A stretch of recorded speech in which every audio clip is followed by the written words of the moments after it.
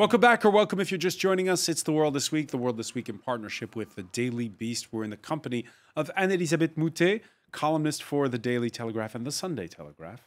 And uh, also with us, Nupur Tiwari, founder of Smashboard, uh, which is uh, a social media app, but also... Feminist news and analysis. That's it, news and, and, futures. All right. Régis Le Sommier, deputy editor-in-chief at uh, the French uh, news weekly Paris Match, and Mark Basset, Paris correspondent for uh, El País. Just before the break, Mark, we were talking uh, about uh, the fact that uh, the, the UK is very much going to be staying on our radars uh, in 2020 uh, with the trade talks that'll be going on with the European Union, but also the pressure coming from north of the border from Scotland with the First Minister buoyed by a strong show.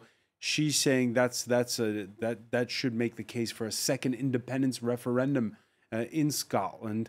Uh, people in Spain must be watching that closely. They're watching uh, in Spain and in Catalonia. Uh, Scotland wants to remain and voted remain in the European Union. Uh, England voted independent from the European Union. You know, one of the messes that it all has created is this new this new complication. Uh, Scotland already had a referendum. They want another referendum. I wonder how will Boris Johnson deal uh, with with this issue. How will he answer? Uh, Nicola Sturgeon, uh, Scotland. He's, he said he'll ignore he it, can he? He has, first of all, the vote of 2014. There was a referendum for Scottish independence in 2014, before the idea of Brexit was even invented and uh, uh, Brexit vote at any rate, and the, the, the, the, Scots voted to remain within the Union. Nicola Sturgeon now says that because of Brexit, uh, um, the, uh, the Scotland should be allowed to have another referendum. But in 2014, the Scottish government signed on to uh, the referendum, which has to be authorised by Westminster because it's it's a member of the Union. Uh, that it, they would wait for 10 years before holding another referendum if they didn't like the the result of the first one. So that would be until 2024 which, if you think about it, is not so far. The idea that Boris Johnson is going to say, no, you can have one straight away four years early, uh, just when you've had so many votes within, within Britain is inconceivable. The idea said, look, you've got only four years to wait, make your case. I will make my case in, uh, in, in, in sort of, you know, making Brexit succeed, which is not yet uh, uh something that is going to be you know, certain. And depending on whether uh, um, the uh, um, Britain manages to have a negotiation with the European Union that makes for easy uh, trade and relations or not, uh, I would imagine that the question of the referendum to uh, the independence referendum will become entirely either moot or uh, necessary in, in the next few years. I don't see why the, uh, the schedule should be shortened. But what if the, this is a question, what if the Scottish do as the Catalan independentists and say, even if Westminster doesn't uh, Uh, give us permission to organize a second referendum, we will go ahead and we'll do it. Is it a, a, a, possible scenario in, in, Several things. One is that Scotland receives actually more subsidies than the rest of Britain Per, per capita, I think the average for all of Britain is about £9,000 something, and each Scottish citizen per capita uh, receives in subsidies, and that includes transport and stuff like that, from the government. Scotland is not the richest part of the uh, the, the um, United Kingdom, and therefore they don't have the but same. It's not always economics that drives uh, that drives uh, na no. nationalism. It's it's it's ideology uh, it's it is ideology. It certainly is not economics. Whereas in Catalonia, I think a great deal of it was also economics, because I think Catalonia, like the former Lega Nord in Italy, were uh, tired of uh, paying for everybody else in Spain, quote unquote. I'm not saying that right mm. or not. I'm saying that's what I heard at the time. Let's take a look at what's going on here. Uh, they have a term in French for when the country slows down for Christmas. It's called the confectioner's truce. The idea that candy makers can now enjoy a well-deserved break. Travelers have been promised a partial respite from strikes that have been going since December the 5th in France, with a few more trains before it all kicks off again with fresh pension reform protests in the new year.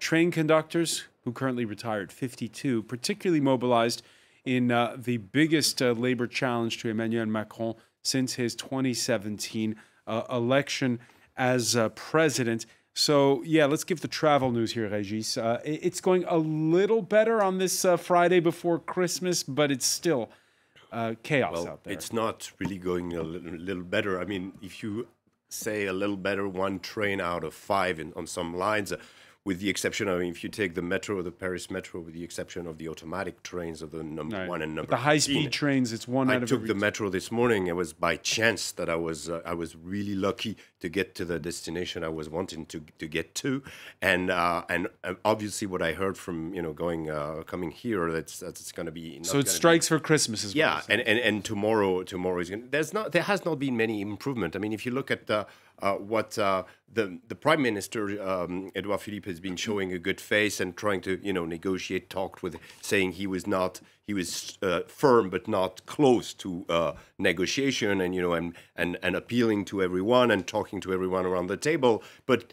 There's not not been any change. I mean, the the, the the change that could you know trigger a movement within the syndicate would be the, the age of retirement, but which is uh, you know something that a, a principle that the CFDT, which is one of the uh, main uh, union, uh, has been looking. But the other one, they don't care. They want the reform to get out. They, they don't want the they don't want the they reform. want to, they want the reform scrapped. withdraw, and, and and this is not what the government is about to do. So there's going to be a huge demonstration planned on um, January I believe uh, J- January 9th. and and again we're going to count the number of people that are going to be on strike, and and so it's going to be all over again.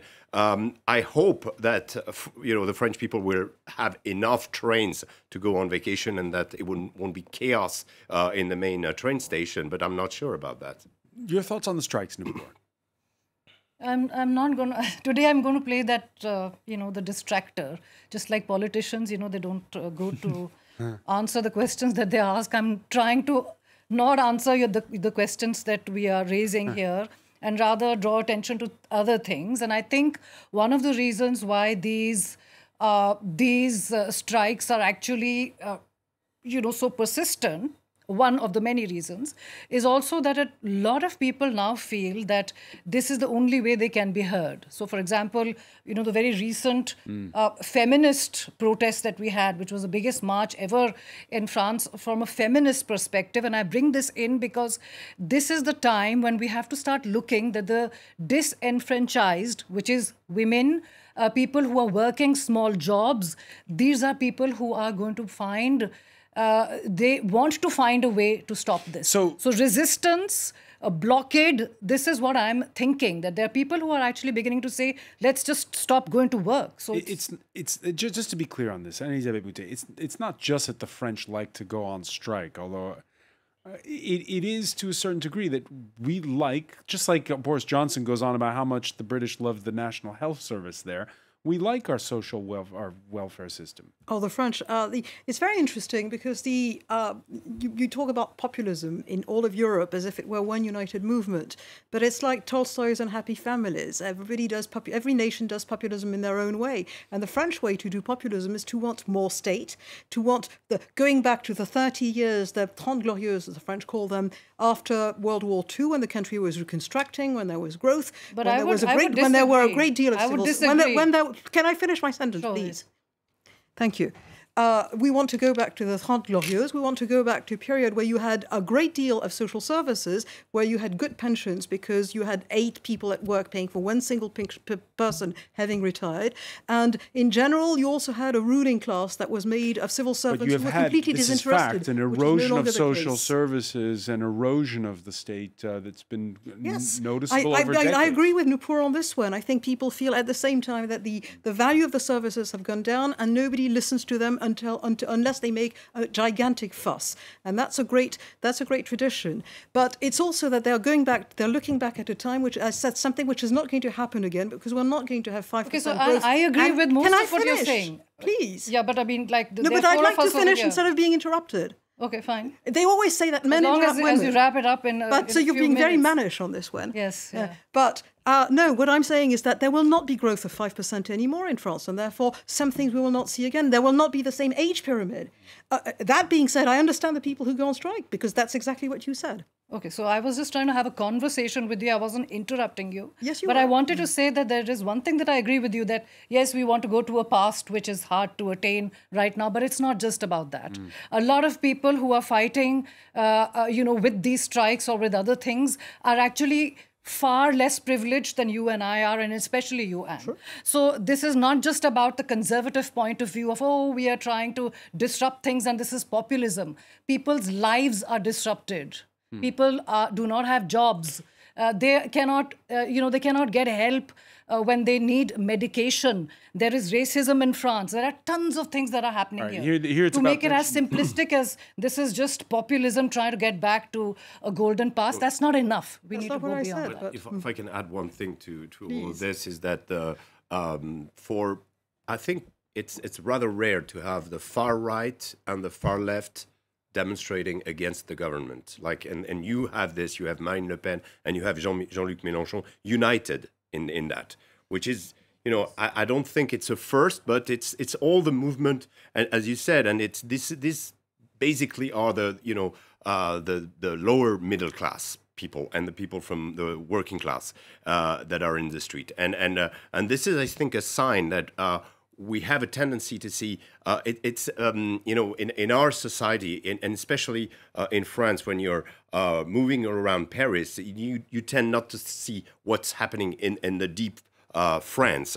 And, and and this is a movement when you when you talk about uh, for instance the teachers.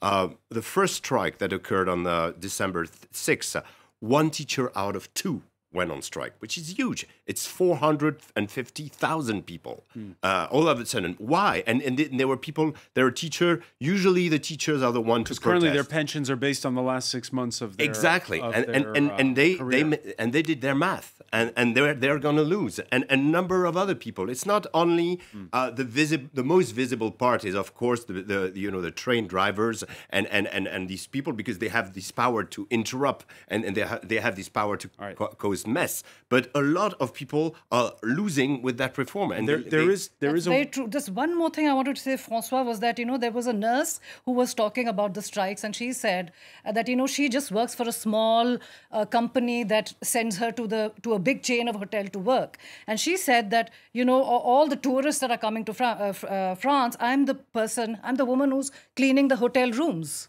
you know, and if I'm not going to turn up. Well, then, you know, there are going to be consequences, and I'd rather not go to work, even if the trains and the metro is moving, uh, because there has to be a blockade. And I think that's the sentiment that we need to also focus on. But there's been a winner in all this, which is um, bicycle salesmen. The numbers have shot up on the road since the start of the month, uh, plus 104% in the French capital.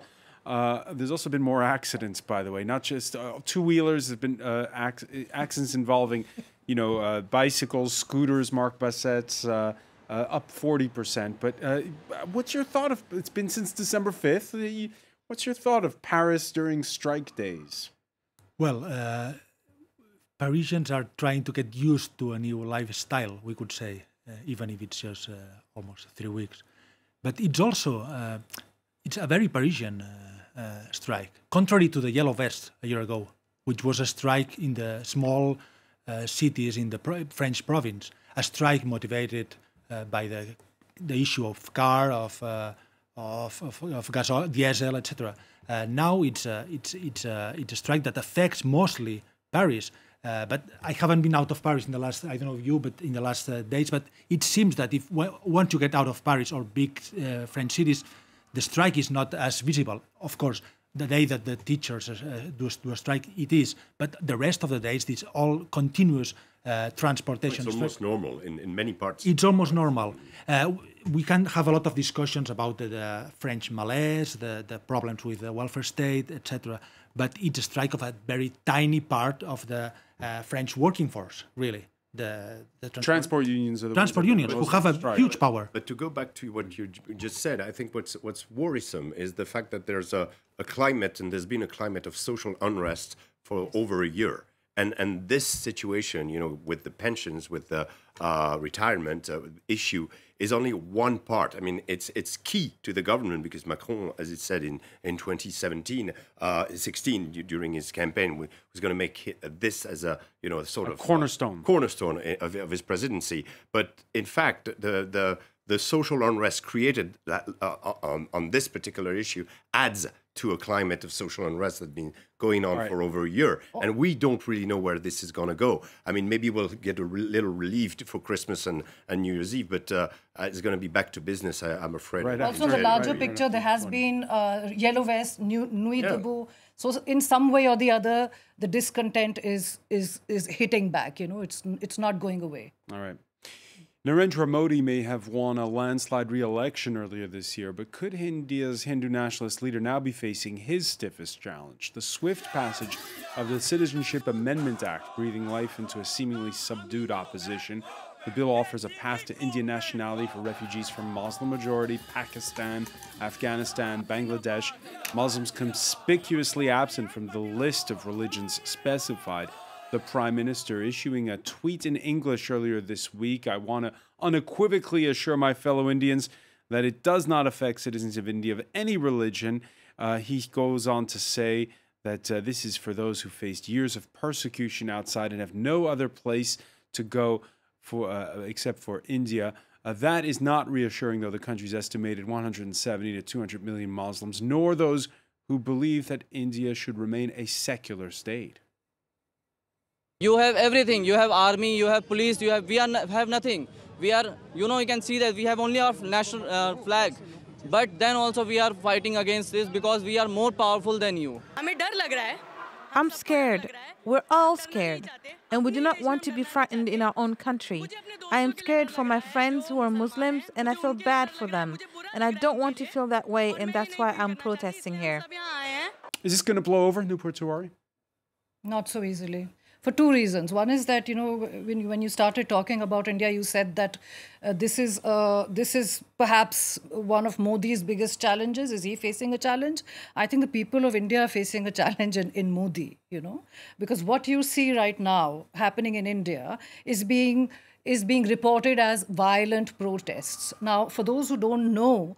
Uh, a lot of protests that happen in states that were not under the BJP uh, control in the sense that not BJP governed states, but states governed by others, had perfectly peaceful uh, protests. Uh, non-violent protests. It's only in the states where the BJP has control, where it's shutting down the internet. This is literally a digital extension of human rights violations, shutting down mobile networks in Delhi I mean, come on. In, they in, say it's to prevent inflammatory speech that could heighten violence. The inflammatory speech actually comes from BJP's followers. Uh, and there is this, so this anyway has been, and you know, I have been on your shows before to say this and received a lot of army of trolls uh, critiquing me for that. But this has always been the agenda of this government to create unrest, to pit uh, Hindus against Muslims. This, this has played out already in Gujarat in, in this very similar pattern before. And this, this whole, you know, the whole uh, uh, Citizenship Amendment Act that has been brought in, it's a completely arbitrary law that has been brought in. It's a very complex thing for me to explain here, yeah, yeah. Uh, but it suffices perhaps to explain that Assam, which is a very large state in India with a very porous border, is actually opposing this bill for very different reasons. Because there was, uh, you know, a survey done for the NRC where, where uh, people were going to see how many illegal immigrants are there.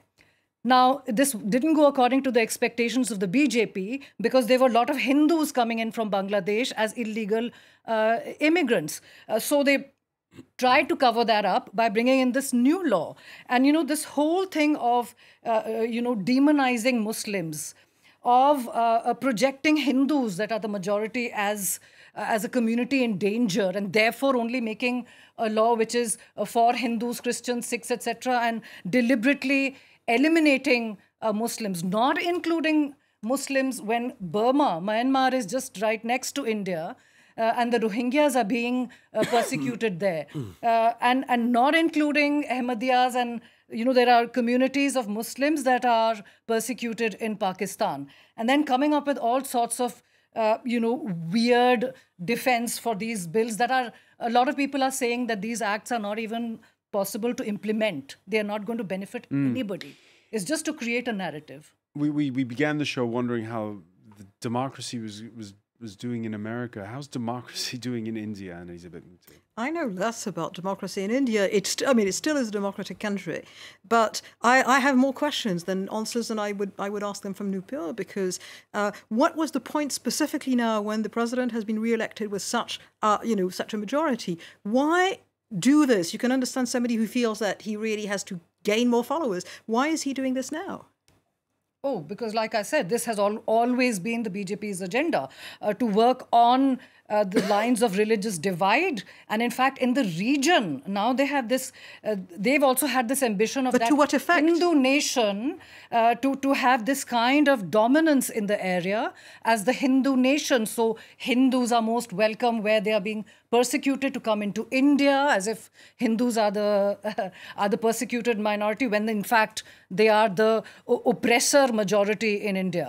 Uh, so the BJP actually has a has a very very uh, extremist Hindutva ideology. Uh, you know they have been doing this little by little expanding their, their their base and now actually passing laws in fact this winter parliament session was a horror uh, for a lot of minorities. There were trans people who were completely uh, unhappy and rejected uh, uh, uh, an act which was made for their protection. Right. So this is actually literally playing out uh, like like a kind of Nazi regime, you know, where you are, and this is not an exaggeration anymore. There are tons of people who are actually even supporting the BJP who have now understood that this regime is actually working like an autocratic. Remember that the press Right. has been warned.